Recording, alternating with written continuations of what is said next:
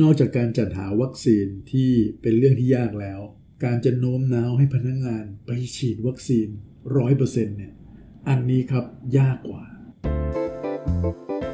It's time for a cup of culture podcast. Let's grab a cup and sit back. ได้เวลาจิบกาแฟคุยกันเรื่องวัฒนธรรมองค์กรกับ A Cup of Culture แล้วนะครับ สวัสดีครับ คุณผู้ฟังครับ ขอต้อนรับ คุณผู้ฟังเข้าสู่กาแฟแก้วที่ 215 กับผมบอลสุรัตน์นะครับ วันนี้ตัวผมเองเนี่ยมีโอกาสได้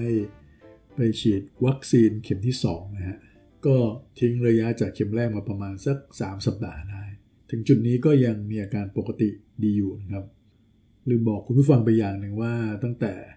โควิดในระลอกที่3เนี่ยผมก็ใช้ชีวิตอยู่ที่ต่างจังหวัดนะครับ มาโดยตลอดเลย แล้วก็โชคดีตรงที่ว่าจังหวัดนี้อาจจะไม่มีเคสของโควิดมากจนน่าตกใจนะครับ การไปฉีดวัคซีนในครั้งนี้ก็เลยค่อนข้างจะไม่ค่อยมีความเสี่ยง แล้วก็คนก็ยังสบายๆไม่หนาแน่นมาก วันนี้ก็เลยอยากจะชวนผู้ฟังมาพูดคุยเกี่ยวกับเรื่องของการฉีดวัคซีนเนี่ยแหละครับ เพราะอะไรครับ เพราะว่าผมมีโอกาสได้พูดคุยกับบรรดา HR ของหลาย ๆ องค์กรเนี่ยนะฮะเขาพูดเป็นเสียงเดียวกันครับว่า การที่จะหาวัคซีนมาให้พนักงงาน ได้ฉีดกันเนี่ยจริง ๆ แล้วก็โอ้โหก่อนหน้านี้นี่ต้องพยายามทุกวิถีทางเลยนะครับ บางองค์กรมีพนักงงานหลายร้อยหลายพัน หรือเป็นหมื่นหมื่นคนอย่างเงี้ยนะครับการที่จะให้พนักงงานของตัวเองเนี่ยได้มีวัคซีนอย่างทั่วหน้าเนี่ยต้องถือว่าเป็น งานหลักของ HR งานหนึ่งเลยเพราะฉะนั้นบรรดา HR ก็จะยุ่งมากในช่วงเวลานี้นะครับ ก็หลักๆก็คือการจัดคนของเขาเนี่ยไปฉีดวัคซีน หรือถ้าบางที่เนี่ยมีเคสของการติดโรคในอองค์กรด้วยนี่โอ้อันนี้มีศึกสองด้านเลยนะฮะแต่พอคุยไปคุยมาแล้วพบแบบนี้ครับว่า พอหาวัคซีนได้แล้วเนี่ยมันมีปัญหาบางอย่างตามมาเหมือนกัน โดยไม่ทันคิดก็คือว่า มีพนักงงานกลุ่มหนึ่งเสมอ ในเกือบเกือบทุกองค์กรนะครับ ที่ตัวเองปฏิเสธการฉีดวัคซีนครับ ซึ่งเท่าที่เช็คเช็คกันดูเนี่ยนะครับ องค์กรหนึ่งจะมีประมาณสัก 10-15%ที่จะอยู่ในกลุ่มนี้ด้วยเหตุผลที่แตกต่างกันไป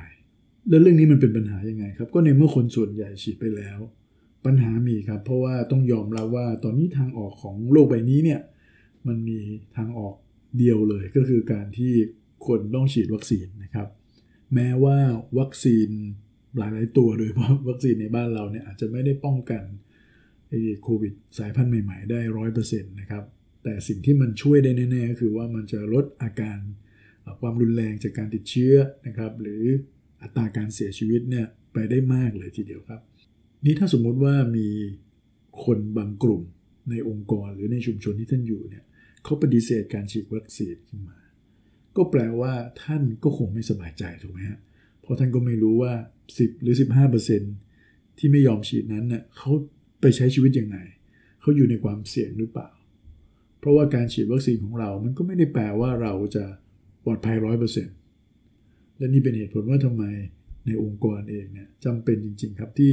จะต้องให้พนักงงานมากที่สุดเท่าที่จะเป็นไปได้ ฉีดวัคซีนร้อยเปอร์เซ็นต์ด้วยยิ่งดีนะครับ วันนี้ผมก็เลยอยากจะ มาแชร์กลยุทธ์บางอย่างที่ใน Harvard Business Review เขาได้พูดถึงนะครับทำยังไงครับที่จะยอมให้พนักงงานทุกคนเนี่ยไปฉีดวัคซีนกัน ซึ่งก็แน่นอนครับว่าแต่ละคนก็มีเหตุผลแตกต่างกันไปนะครับ ประการแรกเลยก็คือว่าใช้การเล่าเรื่องราว ไม่ใช่การเล่าสถิติ ทุกๆวันนี้เนี่ยบ้านเราก็มีการแชร์สถิติ ผู้ติดเชื้อรายวัน คนเสียชีวิตรายวันนะครับ ตัวเลขนั่นตัวเลขนี่อยู่ตลอดเวลา ตัวเลขพวกนี้เนี่ยมันไม่ได้กระตุ้นมากนะครับ แต่สิ่งที่กระตุ้นมากกว่าก็คือว่า คนที่ได้รับผลกระทบในเชิงลบจากมัน แล้วมาเล่าเรื่องให้ฟัง จะมีน้ำหนักมากกว่า แทนที่เราจะแชร์เรื่องตัวเลขอย่างนี้ในองค์กรเนี่ยนะครับ เราเอาคนที่เขามีประวัติการติดเชื้อนะครับยกตัวอย่างเช่นโอ้ถ้าได้พนักงงานของเราเองเลยเนี่ยอันนี้ยิ่งดีเลยครับว่าตัวเขาเองเนี่ยติดเชื้อมาวันนี้หายแล้วเป็นปกติแล้ว แต่ให้เขามาเล่าให้ฟังว่าเขาลำบากแค่ไหนตอนที่เขาติดเชื้อนะครับ การใช้ชีวิตเอ่ยหรือว่าความเสี่ยงที่จะต้องมีกับคนรอบข้าง หรือตัวเองเป็นเหตุทำให้คนรอบข้างต้องติดตามอย่างเงี้ยนะครับ อันนี้จะช่วยทำให้เห็นภาพมากกว่า เพราะว่าอะไรที่เกิดขึ้นกับคนใกล้ตัวเราเนี่ยมันจะสร้างความน่าเชื่อถือได้ดีกว่าครับ ประการต่อมาครับก็คือว่า อย่าไปเน้นผลลัพธ์ที่มันไกลตัว หรือว่ามันอยู่ในระยะยาวมากนะครับ เช่นไปพูดว่าอ่าพอโควิดหมดไปแล้ว หรือคนฉีดวัคซีนกันเยอะแล้ว เราก็จะใช้ชีวิตปกติได้อะไรอย่างเงี้ยอันนี้มันก็ดูไกลเกินไปครับ คนจะไม่ค่อยให้ความสนใจกับเรื่องอะไรที่ไกลตัวขนาดนั้น โดยเฉพาะคนในบ้านเรานะครับ แต่ถ้าเราบอกว่าการฉีดวัคซีนเนี่ยมันทำให้เขากลับไปใช้ชีวิตใกล้เคียงปกติได้บ้างนะครับ ยกตัวอย่างเช่น จะออกไปซื้อของซื้อของ จะไปตัดผม จะไปทำอะไรที่มันจำเป็นเนี่ย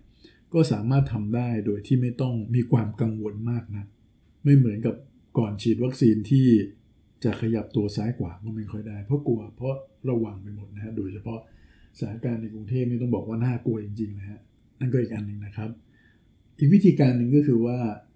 เราต้องทำยังไงที่จะให้พนักงงานเนี่ยเขาไม่รู้สึกว่าเขาต้องสูญเสียอะไรไป แน่นอนครับ การฉีดวัคซีนเนี่ยไม่ควรจะเป็นเหตุทำให้พนักงงานจะต้องมีค่าใช้จ่ายอะไรนะครับ ซึ่งอันนี้ผมคิดว่าน่าจะเป็นปกติอยู่แล้วในบ้านเรานะครับ แต่มันจะมีค่าใช้จ่ายบางอย่างนะครับ ยกตัวอย่างเช่น พนักงงานบางคนเป็นพนักงานรายวัน เป็นคนงานในโรงงาน ซึ่งก็มีความเสี่ยงมากนะครับ เพราะฉะนั้นถ้าเราบอกว่าการที่เขาไปฉีดวัคซีนเขาหายไปครึ่งวันหรืออะไรต่างๆ พวกนี้เนี่ยเขาไม่ได้ค่าแรงรายวันตรงนั้นเนี่ยหรือเขาทนโดนตัดค่าแรงเนี่ยอันนี้จะมีผลต่อการที่เขาจะลังเลแล้วนะครับ เพราะฉะนั้น จะให้ดีเราต้องดูแลเรื่องรายละเอียดเรื่องพวกนี้ด้วยครับ วิธีการต่อมาเนี่ยคือการใช้ social network นะครับคำว่า social network เนี่ยมันก็มีหลายวิธีการ จะใช้ social network แบบที่เรารู้จักกันก็ได้นะครับ ก็คือส่งเสริมให้พนักงานในองค์กรเนี่ยมีการติดแฮชแท็กต่างๆ เช่นคนที่ฉีดแล้วก็ใส่แฮชแท็กว่าตัวเองฉีดวัคซีนแล้วนะครับ หรือแชร์ภาพตัวเองฉีดวัคซีน หรือหลาย ๆ ที่เขาก็ใช้วิธีการเอาสติ๊กเกอร์ว่าฉันฉีดวัคซีนแล้วเนี่ยไปแปะอยู่ที่ ID badge ของตัวเองนะครับ พอพูดแบบนี้เนี่ยจะทำให้รู้สึกว่าเอ๊ะมันมีการแบ่งชนชั้นกันหรือเปล่าเนี่ยคนฉีดกับคนไม่ฉีดอะไรเงี้ยนะครับเชื่อไหมครับว่า strategy ในการแบ่งชนชั้นเนี่ยกลับได้ผลนะครับในเรื่องของการทำอะไรแบบนี้ครับ อย่างในสหรัฐอเมริกาเนี่ยนะครับเขามีการ เขามีวิธีการในการกระตุ้นให้คนผิวสีเนี่ยไปฉีดวัคซีน โดยการที่ไฮไลท์ว่า Kizzmekia Corbett นะฮะซึ่งเป็นนักวิทยาศาสตร์ คนสำคัญเลยครับ ที่คิดค้นในตัววัคซีนโมเดอร์นานะครับเพราะฉะนั้นก็จะพยายามจะไฮไลท์ว่า วัคซีนนี้เนี่ยคิดค้นโดยคนผิวสีด้วยกันนั่นเองนะครับมันก็มีผลทางเชิงจิตวิทยาของการเป็นพวกพ้องทำให้คนผิวสีด้วยกันก็รู้สึกว่า เออ อยากไปสนับสนุนหรือรู้สึกไว้วางใจ ซึ่งวิธีนี้ก็น่าสนใจดีนะครับ อีกตัวอย่างหนึ่งนะครับก็เราสามารถใช้วิธีการที่ให้แต่ละคนเนี่ยคอมมิตกันไว้ก่อน ว่าจะทำสิ่งนั้น แล้วมันก็จะส่งผลให้เขาได้ทำสิ่งนั้นจริง ๆ ได้มากขึ้นนะครับ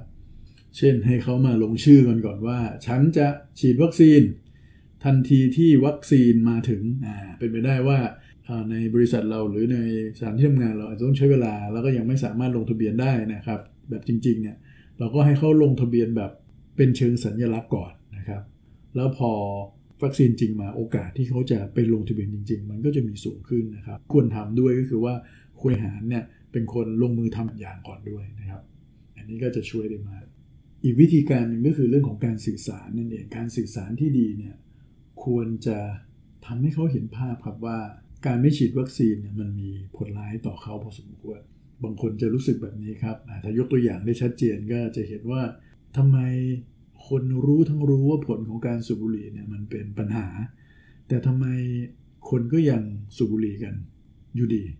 เพราะว่าแต่ละคนจะรู้สึกว่ามันเป็นเรื่องที่ไกลตัว หรือเป็นเรื่องที่คนที่จะมีปัญหานั้นน่าจะไม่ใช่ฉัน แต่ในส่วนของ การที่เราจะรณรงค์เรื่องการสูบบุหรี่เนี่ยบางทีเขาก็จะไม่ได้รณรงค์กับคนที่เป็นคนสูบเอง แต่เขาอาจจะบอกว่ามันอาจจะไปมีผลต่อ second smoker รอบๆตัวคุณก็ได้ ซึ่งอาจจะหมายถึงคนรอบข้าง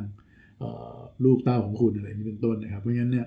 ก็พยายามจะไฮไลท์คนรอบข้างเหมือนกันครับ ถ้าคุณไม่ไปฉีดวัคซีน ตัวคุณตายก็ไม่เป็นไร แต่ว่าคนรอบข้างคุณเขาอาจจะติดเชื้อไปด้วยนะอย่างนี้เป็นต้นครับเพราะงั้นมันก็อาจจะช่วยทำให้คน ไม่ประมาทกับเรื่องนี้ แล้วรู้สึกมีความตื่นตัวมากยิ่งขึ้น และอีกข้อหนึ่งแถมท้ายนะครับข้อสุดท้ายก็คือว่า